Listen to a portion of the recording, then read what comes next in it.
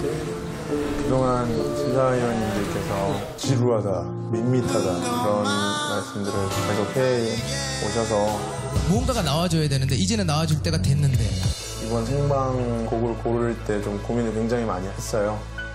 그래서 다른 모습을 보여드릴 수 있는 곡을 고르려고 했습니다. 특히 윤종신 심사위원님만의 그 색깔이 있는 노래들 너무 좋아하고 그래서 제가 고른 곡은 윤종신 심사위원님의 망고 쉐이크라는 곡입니다. 자 모두 힘들어요 망고 타임 망고 쉐이크라. 망고 쉐이크.